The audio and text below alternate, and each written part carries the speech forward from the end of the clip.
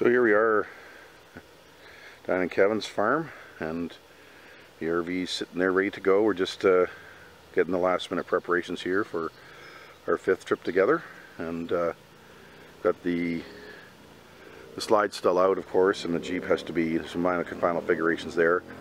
We have to put a few more things in the RV and then we're heading out maybe 7 uh, or sorry 8.30 or so. We'll see what happens.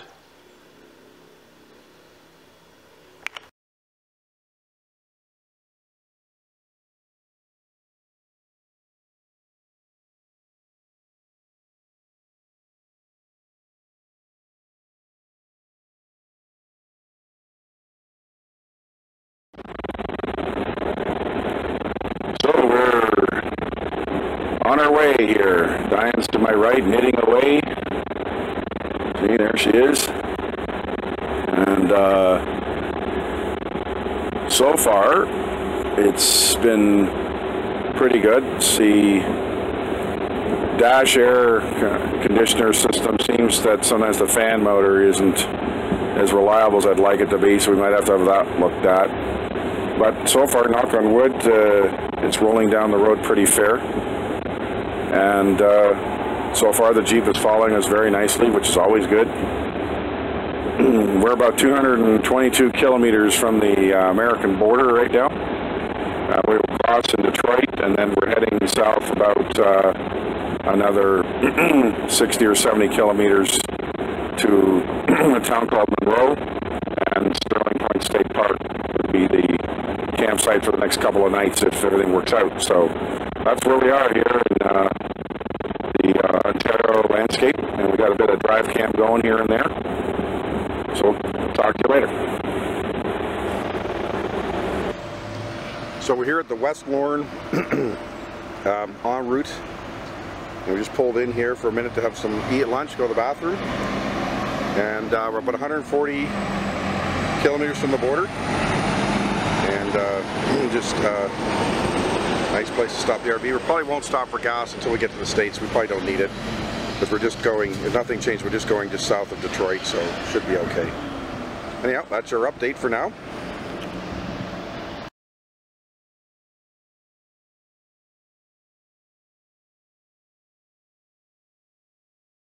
So this is uh, Sterling State Park in Monroe, Michigan. This is just half of the campground. And we're kind of where'd my finger go? Here, we go. So we're around that corner in about there. Myself and Diane. And it's nice here. It's quiet. Lots of people having a nice time on the pretty hot, uh, probably 36 or 37 today. A lot of people in Lake Erie swimming away. And uh, we've uh, the RV here and we're just bringing the temperature down with the uh, air conditioning. So it's getting a bit better. It's been pretty hot though for a little while there. But we got some food and got some dinner and I'm feeling a lot better than I was a while ago. So we'll, we'll uh, pick this up at other places along the way. Two or three hundred people here. Now, guys in this video will see Lake Erie out behind that pickup truck and you can see the extent of that's the north campground and we just come right around here. That's where I came from and here's the south campground. So it's quite a extensive place and uh, like I said everybody seems to be doing very well here. Circle. So we're going to walk down by the lake and see what's going on there. It's a nice beach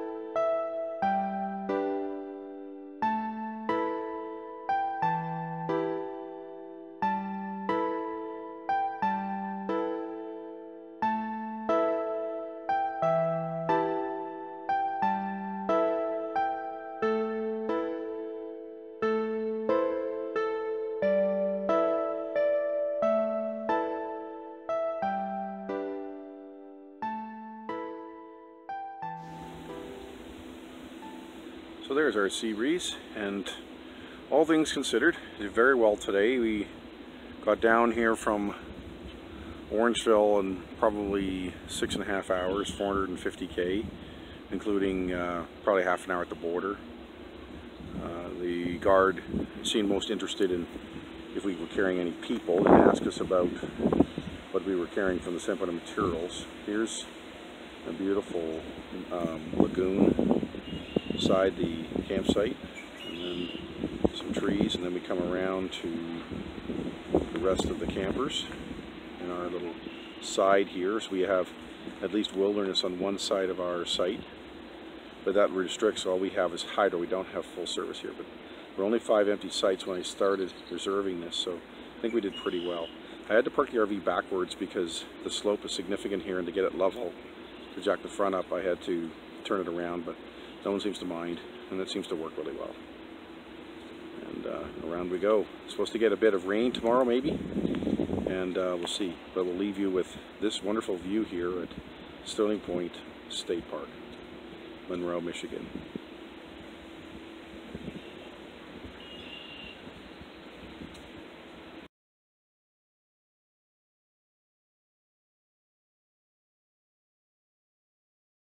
Dayton, Ohio, where you can see the sister, Catherine, discussing flight with the brothers. That's on the white sheet on your map. The first show there is at 11 o'clock.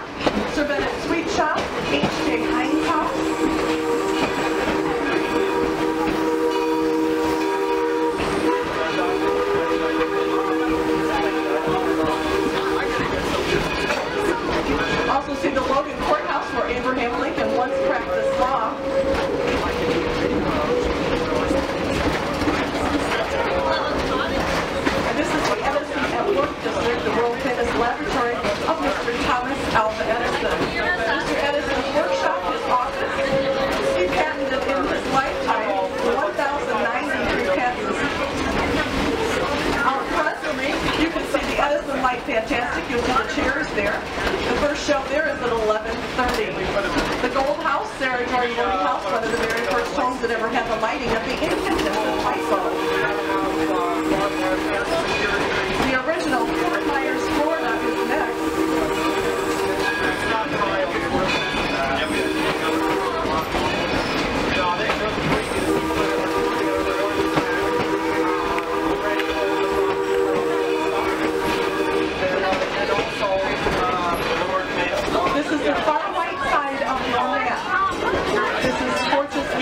Parlor, George Washington Carver's cabin, Noah Webster's home. Ackley Covered Bridge, there's our high wheelers. Ackley Covered Bridge, 1832 on the Wheeling Creek in southwestern Pennsylvania. You'll also see Mrs. Fisher's open from 11 to 4, Southern Cooking Outdoor Eatery. Top of the hill, you'll be able to see the Cotswold Cottage, Gloucester, England, 1600. Behind the bridge, picket fence. That's the Edison homestead, the home of Mr. Edison. Look to the right, you see the blue oval of Ford Motor Company. This is the test track for the vehicles. It was an airport in the 18, or excuse me, the 1920s. This is on the right side, the blue oval. It was an airport in the 1920s featuring Henry VI airplane, which you the museum. Say good morning to Holly. Behind her is the Susquehanna Plantation. This was a 700-acre tobacco farm in the Tidewaters of Maryland, 1860. And this is tobacco and corn. He's working out in the field. We have a wonderful show there. The first one's at 1 o'clock called How I Got Over. Please remain in your seat until we come to a full stop. Once we fully stop, you may exit on the left. If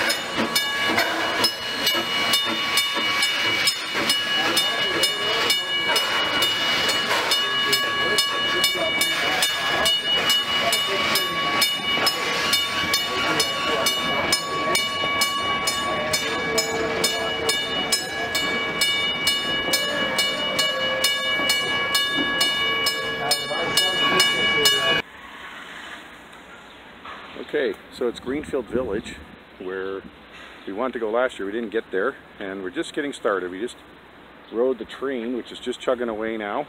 We rode it about a halfway around the park and this is going to be a fantastic day. I can just see there's so many interesting things here. For those of you who don't understand, uh, Greenfield Village was a Henry Ford used to collect historical things as he made his way in the early part of the 20th century. And this collection began to grow and ultimately was turned into a magnificent museum.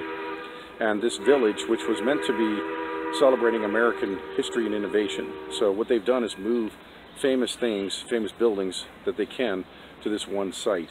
Uh, you'll find here, for example, uh, the Edison um, Laboratory, um, Henry Ford's birthplace, homes of the Wright brothers and so on, and so many other things here. And that's the whole logic of it. And it's kept in fantastic condition. So anyhow, we're going to enjoy the day and we'll see you later.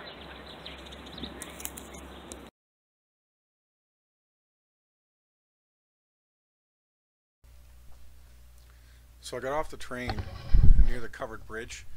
Bridges were covered to protect the road deck from rotting, which would prevent, uh, make the bridge have to be repaired more frequently, and there were quite a few of them around America and Canada. If you move on to the Edison Homestead, and there's a lot of Edison at this particular park because Edison was uh, a friend of Henry Ford's.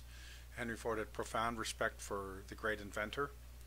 And uh, so a great amount of Edison's resources are preserved here, uh, far more so than probably would otherwise have been had it been left up to others. Thomas Edison, of course, is famous for having 1,093 patents to his name, and he was a very, very competent inventor, no question about it. He was a bit of a showman. He was also a pretty good uh, businessman, taking many of his inventions and putting them to market and making good money doing so. But there are others out there who arguably were uh, uh, every bit his equal.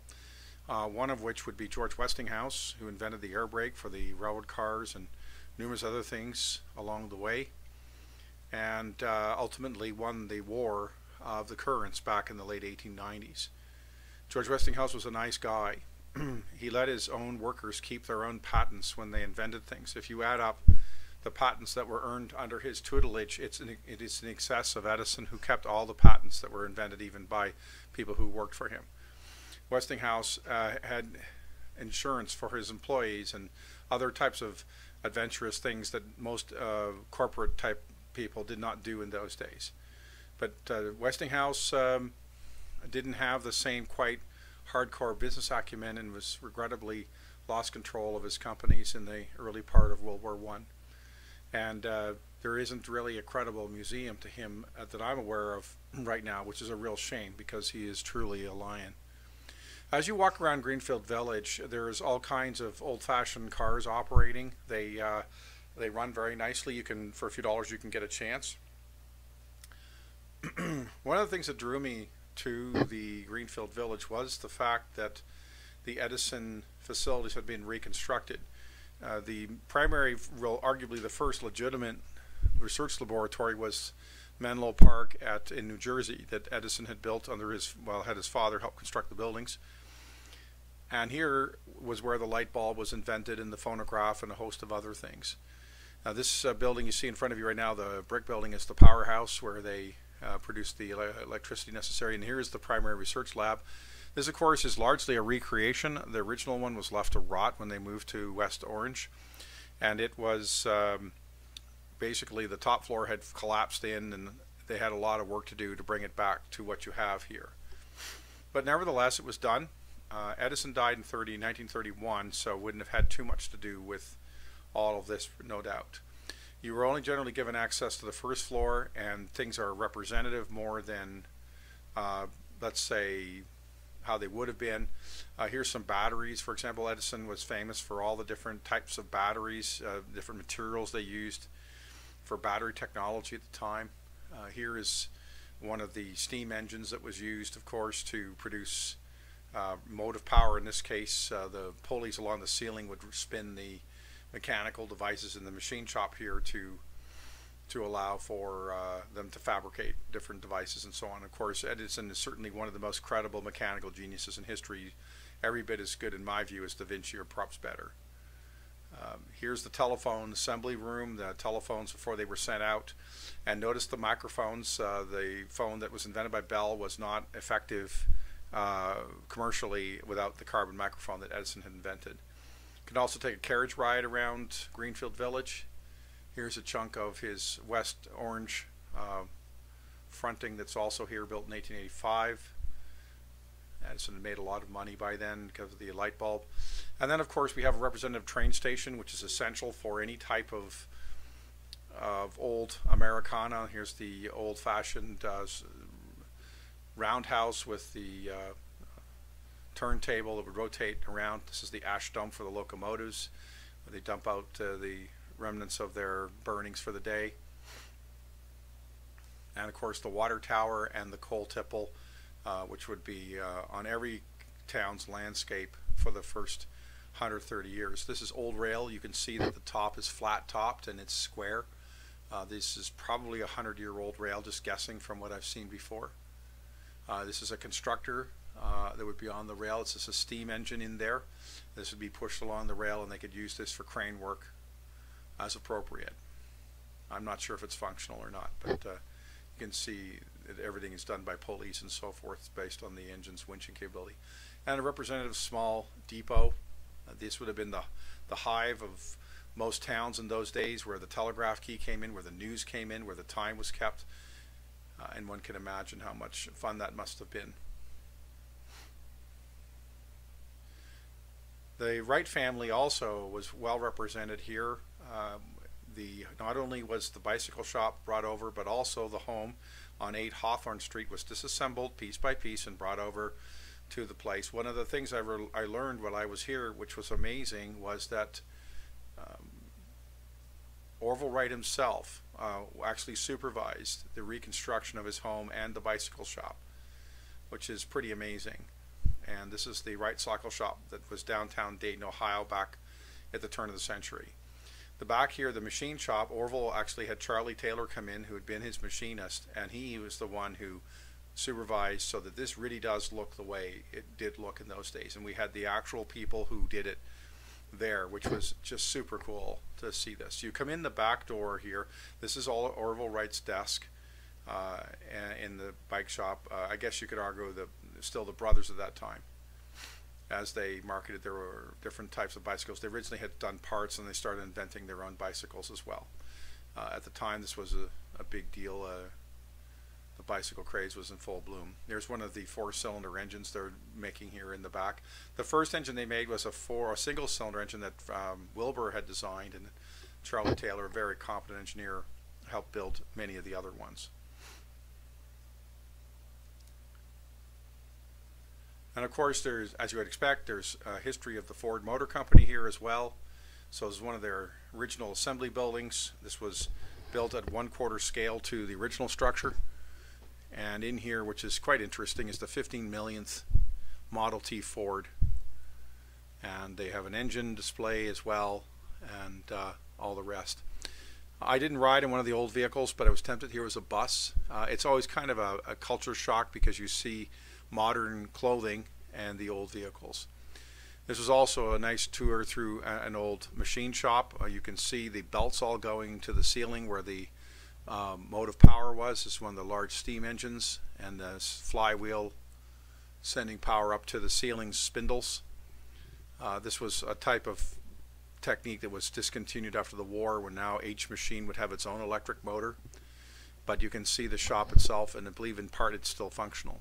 At the end of town, there's a working farm, which was quite interesting as well. And there was animals and gardens and so forth. Uh, I also had a chance to see very what's quite rare now is a working semaphore sign. So not only do you have the uh, paddle pointing to the rotation of the switch, but as it moves, it changes the color of the switch. Here's also an archaic uh, crossing sign. There's a uh, red light that swings in and out. And here's the locomotive on its way.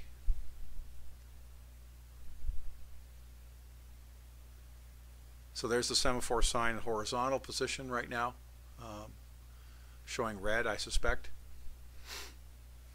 We move into the Henry Ford Museum. This is the presidential limousine of John F. Kennedy. This was the car in which he lost his life in Dallas, Texas. One of the things that was really remarkable when I spoke to people that day was that uh, this car was reconstructed by the Secret Service and hardened uh, so that it could be used by other presidents. And many people thought this was actually very insensitive that such a horrific event that the car should either be put in a museum or you know, simply discontinued somehow. But that was not the sensitivities of 1964. And the car was used right up to the time of President uh, Reagan, I think, or certainly Carter, uh, certainly a number of years after the accident. As you move on through the Henry Ford Museum, there's steam locomotives. This is a uh, tender's auger, which feeds uh, the bottom of the tenders feeds coal into the engine. We see the initial trucks that were starting to show up in the late 1940s, early 1950s as the highways began to get better and we could move things around more effectively. This is also uh, um, the Ford tri-motor airplane that was used by Admiral Byrd when he did his Antarctic uh, type of experiences. And uh, so these are very historic because uh, the Ford Motor Company did not, after a few years, did not involve itself. One of the things I never expected to see here is the actual bus in which Rosa Parks refused to give up her seat back in 1953 and arguably began the civil rights movement. The bus was found in a valley, was completely rusted out and all the rest of it, but they checked and made sure it was the exact value and it's been brought back to, to life in a remarkable way. So this was something I didn't expect uh, here and uh, it was truly amazing to, to come upon this true piece of history.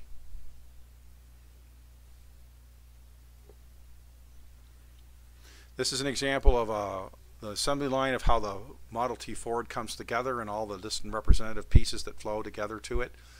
They're building a car every minute or four minutes or something like that, and part of the problems that led uh, to the challenges in the Depression were simply overproduction. There's a great number of electrical generator type, uh, steam type generating systems here. There's a triple expansion steam engine. The right one is the high pressure cylinder, and as you move over, the pressure drops, and therefore the cylinders to get wider to produce the same amount of force to balance the pistons. And so there's a great number of these uh, all over the back area of the Henry Ford Museum. It's absolutely fantastic, and you can read the plaques to get the details of where these particular engines served and how they they did their job. It's just amazing. And as we end a beautiful day, uh, there's the semaphore signal. And thanks for watching.